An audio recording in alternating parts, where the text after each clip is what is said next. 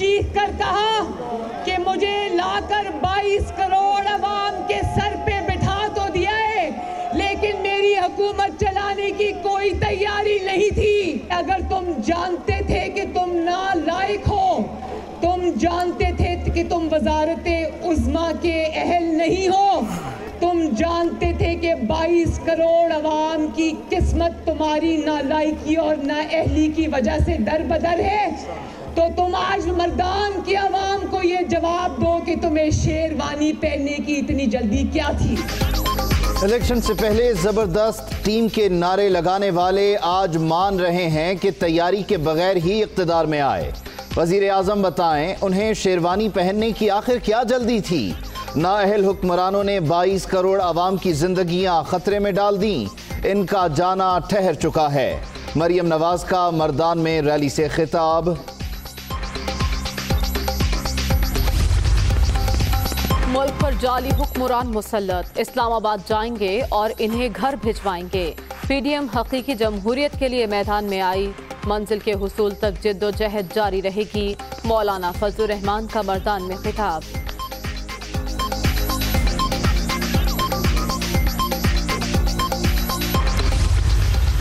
बनाई गई थी करप्शन चेक करने के लिए। नैब कतई इसलिए नहीं बनाई गई कि इम्पोर्ट एक्सपोर्ट चेक करे, प्लॉटों की खरीदो फरोख चेक करे। शहजाद अकबर साहब, अब पार्लियामेंटेरियंस को भी बताएँगे कि पार्लियामेंट कैसे चलानी है। आप कोई नहीं होते किसी पार्लियामेंटेरियन को बोलने वाले कि आप इजलास ना बुलाएँ, आप अपना काम करें और पार्लियामेंट के वर्किंग में मुदाखलत मत करें। शहजाद अकबर पार्लियामेंट के काम में मुदाखलत ना करें। मसला सियासी हुकूमत का नहीं, इदारों के काम करने का है। कोई दिन ऐसा नहीं जब नैब के हवाले से कॉल मौसू न हो। एहतसाब ब्यूरो बदउनवानी रोकने के लिए बना। निजी कारोबार में मुदाखलत के लिए नहीं। Deputy chairman senate Saleem Mandviwala की मीडिया टॉक।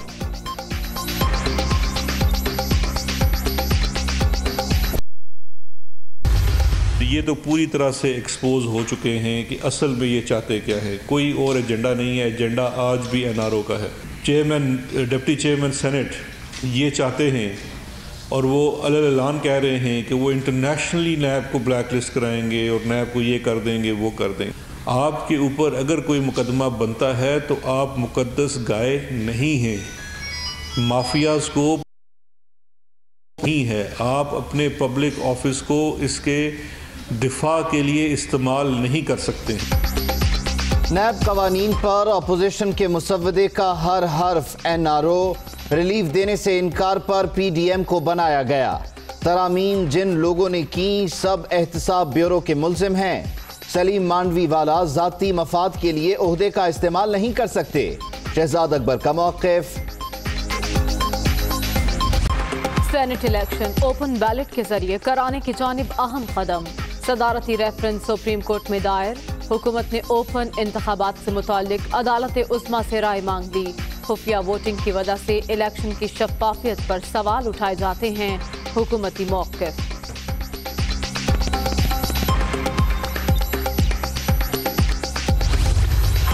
सियासतदान जिनको अल्लाह ने इतना मौका दिया, मुल्क के सरबरा बना दिए। लेकिन जिस रास्ते पे वो निकल गए, आपके सामने आज वो इबरत का निशान बने हुए हैं। उनके पास आज इतना पैसा है, उनको खुद नहीं पता कितना पैसा है। लेकिन कभी अस्पतालों में जा रहे हैं, कभी मुल्क से बाहर जा रहे हैं, कभी बच्चे बाहर जा रहे हैं। बच्चे बाहर भागे हुए हैं। कई बच्चे को झूठ बोलना पड़ रहा है। बापों की चोरी को बचाने के लिए। क्या फ़ायदा इस पैसे का? ये पैसा अल्लाह का अजाब है। माजी में सियासतदान गलत रास्ते पर चलकर निशाने इबरत बने। कभी अस्पताल जा रहे हैं, कभी बाहर भाग रहे हैं। बाप की चोरी छुपाने के लिए बच्चों को झूठ बोलना पड़ रहा है। लूट मार का पैसा कभी किसी के काम नहीं आता, वज़ीर आज़म इमरान खान।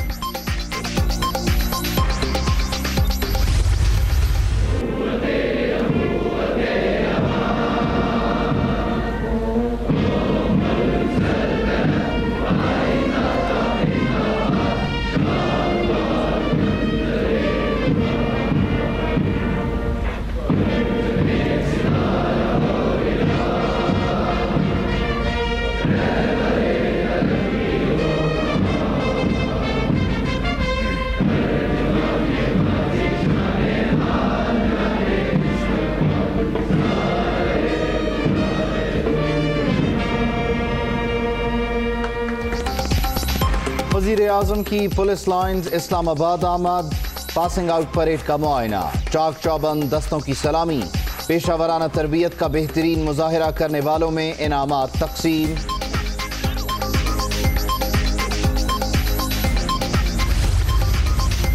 कठपुतली हुकूमत के मुकदमात से नहीं घबराते कारकुन जानते हैं उन्हें लॉन्ग मार्च कैसे करना है हुक्मरान सुन लें अब आवाम के फैसले को कबूल करना होगा बिलावल का मुल्तान में वर्कर्स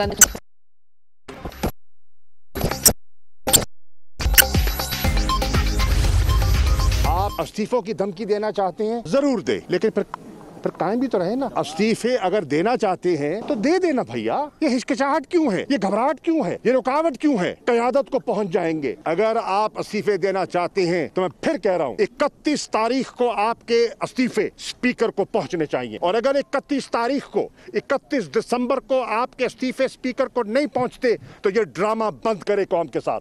ये ड्रामा बंद करें और कहें कि इस्तीफे दिखावे की और देने की और सियासी मुखालफीन इस्तीफे देना चाहते हैं तो हिचकिचाहट क्यों?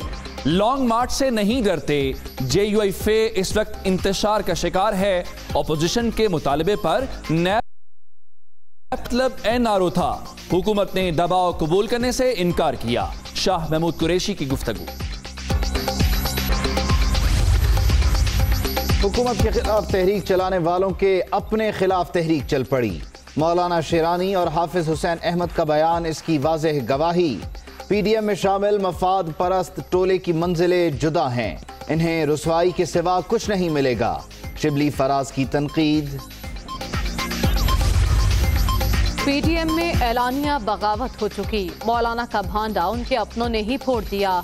राजकुमारी, शहजादे और मौलाना की मनफी सियासत खत्म। इस्तीफों की फ़िल्म चलने से पहले ही फ्लॉप हो गई। फिर दोस्त आशिक आवान का दावा। चालीस पैंतालीस साल तक रेलवे इसी तरीके से मुल्क के पैसे खाता रहे। ये हकायक है, मैं कभी झूठ नहीं बोलूँगा। चालीस पैंतालीस साल से बराबर ये खसारे में है। तो क्या ये बेहतर नहीं होगा कि स्टील मिल की तरह इसको बंद किया जाए? अब कब तक ये रेलवे के नुकसानात को बर्दाश्त करता रहेगा? रेलवे 40-45 साल से मुल्क का पैसा खाने में मसरूफ। बेहतर है इसे बंद कर दिया जाए। आज़म सबाती ने फिर हाथ खड़े कर दिए। इदारे का खसारा बहुत बड़ा। रेगुलराइजेशन हल नहीं है। विफाकी वज़ीर का तकरीब से खिताब। वज़ीर आज़म ने सात रोज में पेट्रोलियम मसनूआत की स्मगलिंग रोकने की हिदायत कर दी। जिस पंप पर भी स्मगल शुदा मसनूआत होंगी, उसे बंद कर दिया जाएगा। वज़ीर दाखिला शेख रशीद का ऐलान। कोरोना की दूसरी लहर का ज़ोर बरकरार। मजीद चौरासी अफराद जान से गए। अब तक नौ हज़ार पाँच सौ सत्तावन अमवात, दो हज़ार एक सौ बयालीस नए मरीज़। मोहलिक वायरस से चार लाख बासठ हज़ार आठ सौ चौदह शहरी मुतासर। एक्टिव केसेस की तादाद सैंतीस हज़ार नौ सौ पाँच हो गई।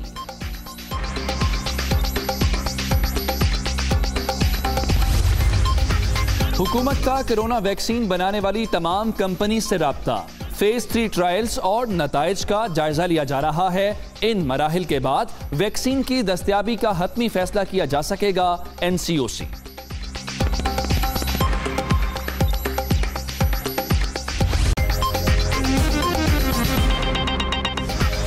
असलकुम दुनिया न्यूज़ के साथ मैं हूँ मरियम जीशान। और मैं हूँ मरदराज। दुनिया हेडलाइंस आपने मुलायजा की वापस आते हैं ब्रेक के बाद। बुलेटिन के आगाज़ में ज़िक्र मुस्लिम लीग नून की नायब सदर मरियम नवाज़ का, जो आज हुकूमत पर खूब गर्जी बरसी, कहती हैं कि इलेक्शन से पहले ज़बरदस्त टीम के नारे लगाने वाले आज मान रहे हैं कि तैयारी के बगैर ही इकतदार में आए।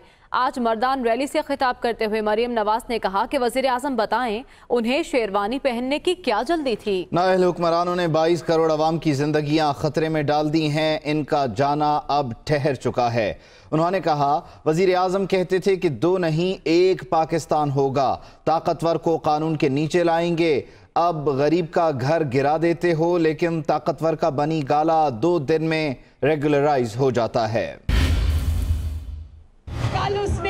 चीख चीख कर कहा कि मुझे लाकर 22 करोड़ अवाम के सर पे बिठा तो दिया है, लेकिन मेरी हुकूमत चलाने की कोई तैयारी नहीं थी। तुम जानते थे कि तुम वजारत उजमा के अहल नहीं हो तो तुम आज मर्दान की आवाम को ये जवाब दो कि तुम्हें शेरवानी पहनने की इतनी जल्दी क्या थी? तुम्हारी हुकूमत चलाने की तैयारी हो ना हो? पाकिस्तान के अवाम ने तुम्हें घर भेजने की तैयारी पूरी कर ली है इंशाल्लाह 400 500 इस्तीफे जब आ जाएँगे तुम्हारा एक दिन इस मुल्क में वज़ीर आज़म जाली वज़ीर आज़म रहना मुश्किल है Hi, it's Sayyeda Shanaz here. Thank you for watching Dunia News. For more videos and updates, don't forget to click the subscribe button. Keep watching Dunia News.